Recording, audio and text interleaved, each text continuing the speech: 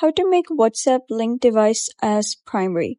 Hello guys and welcome back to the channel. In this video, I'm going to show you how you can switch a WhatsApp link device like WhatsApp web, desktop or companion phone to become your primary device.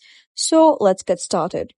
So first thing what you gotta do is simply open your WhatsApp if you have Android or iPhone and then head over to link devices over here if you're using Android, you can head over to chats and then click on three dots here at the top right and then click on link devices.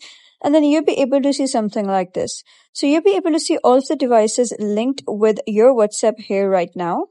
So you can see I have only one device active. So if you're having WhatsApp on on one phone, let's say iPhone, you cannot create the same WhatsApp on any other iPhone.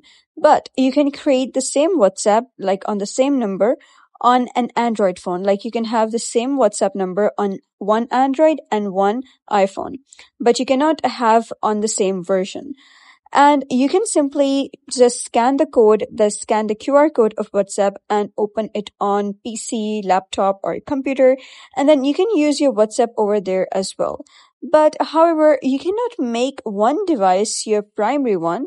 All of the features, all of the chats, whatever changes you do on one device will be made to the other one as well. Like if you have WhatsApp on your phone and let's say you connect the same WhatsApp on your PC as well. So if you text someone from your PC, you'll be able to see those texts over here as well. And if you text someone on phone over here, then you'll be able to see all of those texts on PC as well. So you cannot make one device as primary in case of WhatsApp. So that's the end of today's video. If you found this video helpful, give it a thumbs up and don't forget to subscribe for more helpful tutorials. I'll see you in the next video.